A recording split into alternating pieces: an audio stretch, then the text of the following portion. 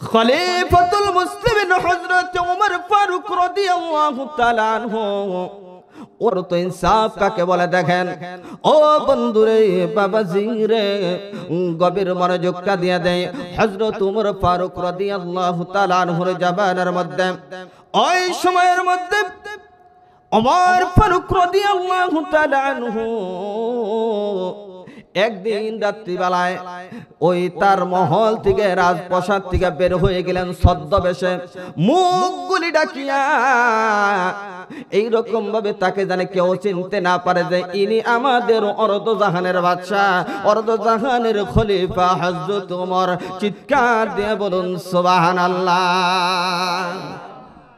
এইরকম ভাবে ছদ্মবেশে রাত্রিবেলায়, গভীর রাত্রিতে বাহির হয়ে গেলে এবার যখন নাকি ছদ্মবেশে বাহির হয়ে রাত্রি যখন গভীর হয়েছে চিন্তা ভাবনা করলেন আমি তো প্রায় প্রতিদিন শহর বন্দরের মানুষদের খোঁজ খবর নেই, কিন্তু যারা পাহাড় পর্বতের মধ্যে আছে, তাদের খোঁজ খবর আমি কোনোদিন নিতে পারি না। আজকে চলে যাব দেখি দেখি পাহাড়ের মধ্যে মানুষদের কি অবস্থা হইছে। ওইভাবে খলিফাতুল মুসলিমিন হযরতে ওমর ফারুক রাদিয়াল্লাহু তাআলা আনহু হাঁটি হাঁটি পা পা করে রাত্রি বেলায় একা কানের জনালেকার মধ্যে চলে গেছে। পাহাড়ের উপর দেখে যে অনেক দূরে একটা পাহাড় দেখা যাইতেছে, ওই পাহাড়ের উপর আগুন জ্বলতেছে আগুন জ্বলতেছে।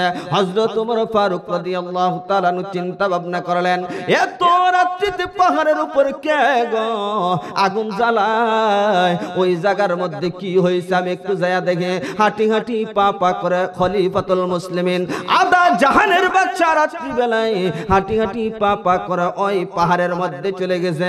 যায়া দেখে গো, ওই পাহাড়ের মধ্যে একটা মহিলা মানুষ, একজন মহিলা, একটা পাতিলের মধ্যে কি জানি নাড়াচাড়া করতেছে, পাতিলের মধ্যে জাল দিতেছে। ওই মহিলাটার পাশে দুইটা শিশু বাচ্চা, আট বছর, দশ বছরের দুইটা শিশু বাচ্চা শুয়া গড়াগড়ি করে কাঁদতেছে। খলিফাতুল মুসলিমিন হযরত ওমর ফারুক রাদিয়াল্লাহু তাআলা ডাক দিয়ে বলে, মাগো রাত্রি গভীর হয়ে গেছে গোমা তুমি এই রাত্রি বেলায় কেন গো? এই পাহাড়ের মধ্যে কি তুমি রান্না করো গোমা তোমার পাতিলের মধ্যে কি? তুমি এত রাত্রিতে রান্না করো, আর দুইটা বাচ্চা গলায় কাটা মুরগির মতো লাফায়। কেন কান্দে তাদের? তাদের সমস্যাটা কি গোমা এইবার ডাক দিয়ে বলা, ও পতি গ, বাইজান গ, আমি পাতিলের মধ্যে রান্না করে, এইবার যখন নাকি পাতিলের মধ্যে রান্না করি যখন নাকি নাড়াচাড়া করতেছে, ভিতরে কটকট শব্দ আসে, ওমর ফারুক রাদিয়াল্লাহু তাআলা সামনের দিকে গেলেন যায়া পাতিলের মধ্যে থেকে দেখেন, ওই পাতিলের মধ্যে কোনো খাদ্য নাই, ওই পাতিলের মধ্যে কিছু পানি ফুটতেছে, পানি গরম হইতেছে, ওই পানির মধ্যে কতগুলিটা টুকরা দিয়া রাখছে, ওগুলি নাড়াচড়া করতেছে ওগুলো ওই পাতিলের ভিতরে শব্দ হইতেছে। এইবার খলিফাতুল মুসলিমিন ডাক দিয়ে বলে তুমি কেন এই পাতিলের মধ্যে এত গভীর রাত্রিতে পানিগুলি দিয়া, আইটে টুকরাগুলি দিয়া কেন লড়াচড়া করতেছো? আর তোমার পাশে দুইটা কলেজের টুকরা সন্তান কেন গড়াগড়ি পারে আর কান্দ? এইবার এই মা ডাক দিয়া বলে রে কে গো? তুমি তোমাকে চিনি না, তোমাকে জানি না। এই গভীর রাত্রিতে তুমি আমার কাছে আসতো আবার প্রশ্ন করা, ও ভাই, এই যে দুইটা, আট, দশ বছরের দুইটা বাচ্চা, এগুলো হলো আমার দুইটা সন্তান। কলিজার টুকরা সন্তান। এরা আজকে তিন দিন পর্যন্ত এদের পেটের মধ্যে কোনো খানা পিনা যায় না। তিন দিন পর্যন্ত এরা না খায়, আছে কেন গমা তুমি কোনো কিছু করো না। এইবার বলল ঠিক আমি তিন দিন আগে কাজের জন্য খুঁজেছিলাম, কাজের জন্য সকাল বেলায় বাহির হয় সন্ধ্যা বেলায় কাজ না পাই, আমি খালি হাতে ফিরত আসি। আমার দুইটা কলিজার টুকরা সন্তান হাও মাউ করে কান্দে। আর বলে মা গো আমাদের জন্য কি খাবার আনছো গোমা আমি প্রতিদিন একই নাটক কাদের সঙ্গে করে। আমি যখন পাতিলের মধ্যে পানি গুলি দিয়া কিছুটা টুকরা দিয়া নাড়তে থাকি, আর বলতে থাকি, বাবারা তোমরা শুয়া থাকো শুয়ে আরাম করতে থাকো। এই জায়গায় খানাটা হইতেছে, খানা হইতে থাকো। আমি যখন এই অবস্থার মধ্যে নাড়াচড়া করতে থাকি, আমার সন্তানেরা কিছুক্ষণ পরে পরে বলে, মা গো, খাবার কি এখন পর্যন্ত হয় নাই গো খিদার যন্ত্রণার সহ্য হয় না গো আমি বলি, না রে বাবার কিছুক্ষণ লাগবে। এই সন্তান খানার অপেক্ষা করতে করতে ঘুমাইয়া পড়ে। ঘুমাইয়া যায়, প্রথম রাত্রিতে ঘুমাইলো। দ্বিতীয় দিন সকালবেলা আমি কাজের জন্য বের হয়ে গেলাম। আমি আর কাজ পাইলাম না, সন্ধ্যা বেড়াই একই অবস্থার মধ্যে আমি এখানে চলে আসলাম। রাত্রিবেলায় একই সিস্টেমে আমি গম নয়াইলাম। আমি রাত্রিবেলায় পানির মধ্যে এটা টুকরে গলে দিয়া আমি নাড়তে থাকি, সন্তান গলে গম আসিয়া যায়। আমি তৃতীয় দিনও কোনো কাজ পাইলাম না। আমার কলেজে ফাটিয়া যায়। সন্তানেরা কি খাবে? সন্তানদের জন্য মা জননীর কত দরদ? মা জননী নিজে না খাইয়া সন্তানদেরকে খাওয়ায় ঠিক না ব্যাঠে? এখন তো মানুষের অভাব নাই, আমরা এই ছোটবেলা দেখতাম মানুষের কত অভাব থাকতো। মা নিজে না খাইয়ে সন্তানদেরকে খাওয়াইছে। মা এক বেলা দুই বেলা না খেয়ে থাকছে।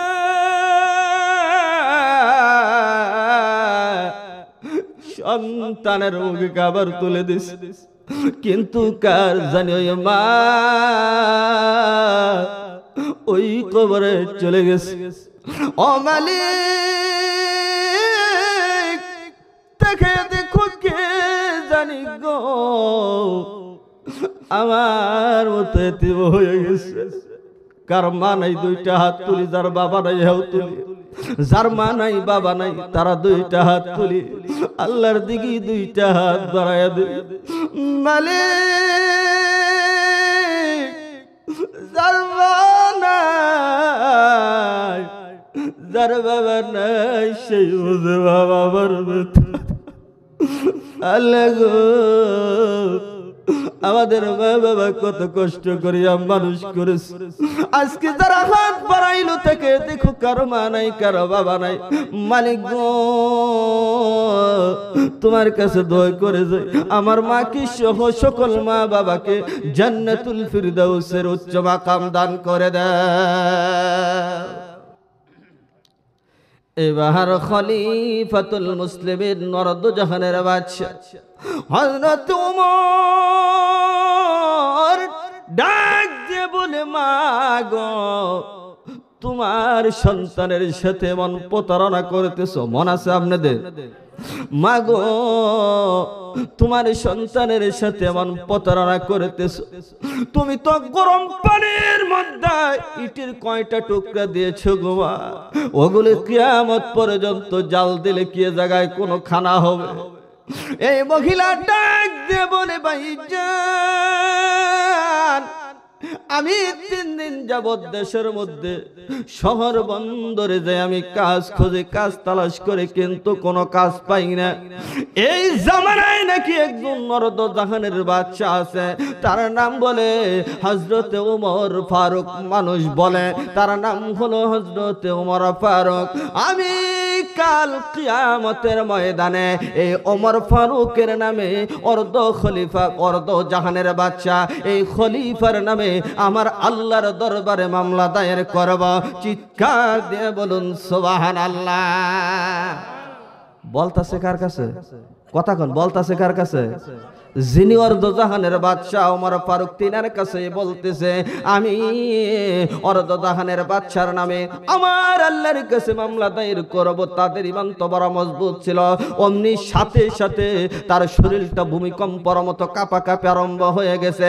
হায় হায়, এই মহিলা বলে গিয়ে আমার নামে মামলা করবে, কিন্তু যদি মামলা করে, আমি খলিফা হইলাম, বাদশাহ হইলাম, এত বড় নেতা হইলাম, কিন্তু আমার আল্লাহর দরবার থেকে তো আমি সারা পাবো না। এইবার খলিফাতুল মুসলিমিন ডাক দিয়ে বলতেছে মা গ তুমি কি ওই খলিফার দরবার, ওমর ফারুকের দরবারে কোনোদিন গেছো অভিযোগ নিয়ে? তুমি যে কোনো কাজ পাও না। কয়, না না না, আমি তার দরবার পর্যন্ত যাইতে পারি না। তার চেলারা, তার চমচারা আমাকে পর্যন্ত যাইতে দেয় না। এইবার বলল, মা কি খলিফাতুল মুসলিমিন? উমরকে জীবনে কোনোদিন দেখছ গো মা? কয়, না না, অমন পুরা কপাল কি আমার কোনোদিন হব? যেই তার প্রজাদের খবর রাখে না। ওই সমস্ত বাদশার চেহারা জানি আল্লাহ আমাকে দেখায় না। চিৎকার দিয়ে বলুন সুবাহান আল্লাহ এবার তো কাঁপতেছিল ভূমিকম্পের মতো। এখন এমন কাঁপা কাঁপি আরম্ভ করেছে যে আমার মতো পুরা কপাল্লার ওই পুরা কপাল্লা মানুষ এই মহিলা দেখতে চায় না। এমন সময় উমার ফারুক নদী আল্লাহ তালানহু ডাক দিয়া বলে, বা, তুমি এখানে থাকো, আমি আসে। এবার দৌড়াইয়া চলে গেছে বাইতুল মালের মধ্যে। বাইতুল মালের যিনি পাহারাদার ছিল যিনি দায়িত্ব ছিল তাকে ডাক দেয়া বলে খাদেম রে ও খাদেম। তাড়াতাড়ি উঠো, বাইতুল মাল থেকে কিছু আটা প্যাকেট করা। কিছু চাউল ডাউল চিনি কিছু আছে। সব কিছু একটা গাঠুরি বাঁধো। গাঠুরি বাঁধি আমার কাছে দাও। এবার যখন নাকি তার এরকম চাউল ডাউল, আটা, ময়দা, সব কিছু নিয়ে প্যাকেট কইরা একটা বস্তা বান্ধিয়া, বস্তা যখন নাকি ওমর ফারুকের সামনে রাখছে, এবার বলে, খাদেম আমার মাথার মধ্যে বস্তাটা তুলিয়া দে। তিনি চিৎকার দেয়া বলুন অর্ধ জাহানের বাদশা তিনি বলতেছেন, এই বস্তাটা আমার মাথার মধ্যে উঠাইয়া দাও। একবার জবন খুলে বলা লাগবে সোবাহান আল্লাহ ওই খাদেম ডাক দিয়ে বলেন, ও বাদশাহ খলিফাতুল মুসলিমিন। এত গভীর রাত্রে তাইসা চাউল চাইলেন, ডাউল চাইলেন। যা কিছু চাইলেন, সব প্যাকেট করেছি, একটা প্রশ্ন করে নাই। কিন্তু এখন জানতে চাই, আমি আপনার খাদেম থাকতে আপনি কেন এই বস্তাটা মাথায় নেবেন তা আমার দ্বারা সম্ভব না। আপনার কোন জায়গায় নেওয়া প্রয়োজন? আমি খাদেম প্রস্তুত আছি, আমি ওই জায়গায় নিয়ে যাব। বলবেন না রে না মারাত্মক এক পেশের মধ্যে পড়ছে, ওই জায়গায় তোমার যাওয়া যাবে না। চিৎকার দিয়ে বলুন সোবাহান আল্লাহ নিয়ে আসেন পরব- পরবর্তী আলোচনা এইবার যখন নাকি আমার বাইরে অধিকার এই যে আমার দিকে তাকান বন্ধুরা যখন নাকি ওমর ফারুক আদা জাহানের বাচ্চা বস্তা মাথার মধ্যে নিয়ে হাঁটি হাঁটি পা পা করে ওই মহিলার দিকে রওনা করলেন।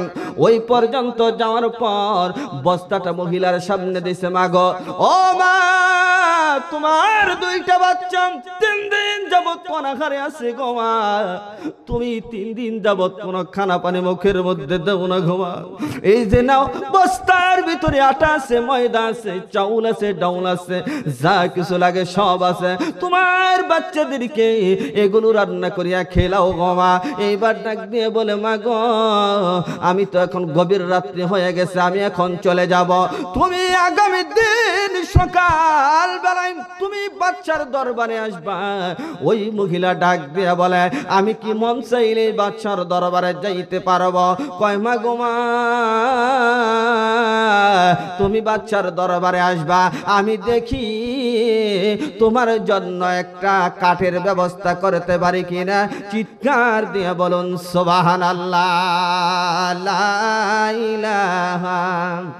যখন নাকি খলিফাতুল মুসলিমিন এই চাউল ডাউলের বস্তা নিয়ে সামনে উপস্থিত করেছে আর ডাক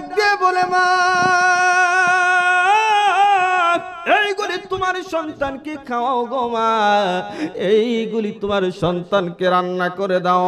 ওই মহিলা ডাক দিয়া বলে, বাবা গো, এই উমর ফারুককে কেন দেশের বাচ্চা বানাইল? অর্ধ জাহানের বাচ্চা কেন বানাইল? আমি দোয়া করে দিলাম। তোমার মতো একটা মানুষকে তোমাকেই জানি আল্লাহ পাক অর্ধ অর্ধ জাহানের বাচ্চা বানায় দেয়। চিৎকার দিয়ে বলুন সোহান আল্লাহ এবার মনের মধ্যে একটু ভালো লাগতেছে, কি কোন? ভালো লাগতেছে না? কয় যায় কাগে যে বদুয়া করল, আমার মতো পোড়া কপাইলার চেহারা দেখবে না। আমার নামে কিয়ামতের ময়দান আল্লাহর কাছে মামলা দায়ের করবে। এখন বলতেছে, আমার মতো একজন বাচ্চা একজন খলিফা যেন হয়।